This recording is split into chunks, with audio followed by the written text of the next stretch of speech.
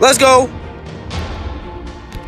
So we are going to play Capture the Flag and we are going to see how many caps I can actually get. I have three Nitro 3s equipped and we're gonna go just for the caps. I don't care if I die, I don't care if I get zero kills. I want caps, caps, caps.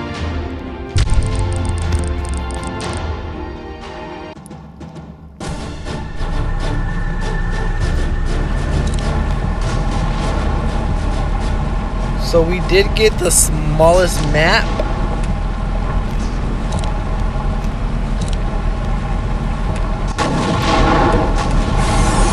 I don't know why I just shot there.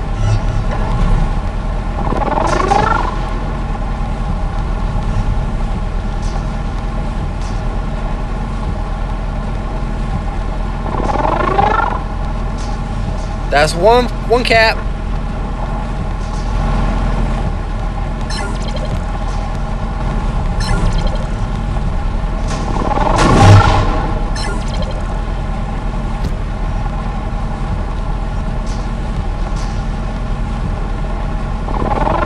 Two caps. I say we should be able to, I mean, for sure get like four unless a teammate takes it.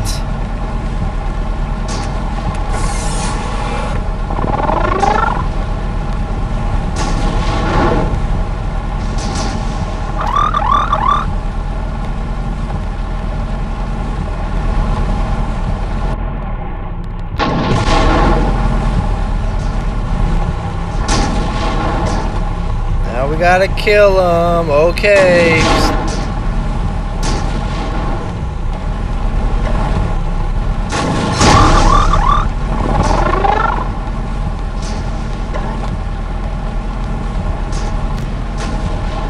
That's three.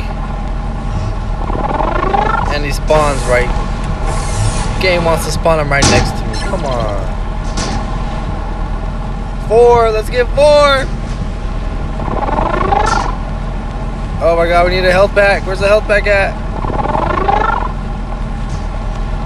Oh my god, it's right there. Oh, we got it. Teammate, get out the way. Teammate stole the flag.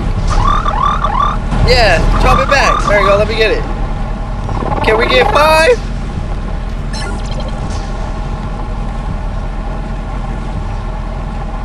Can we get six, guys? That would be crazy.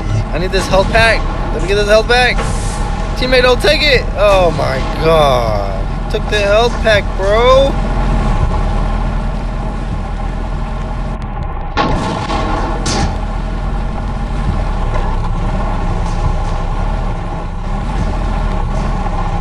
If you guys see, he has his damage area out right now. There's no reason to challenge him when he has his uh when he has his damage area.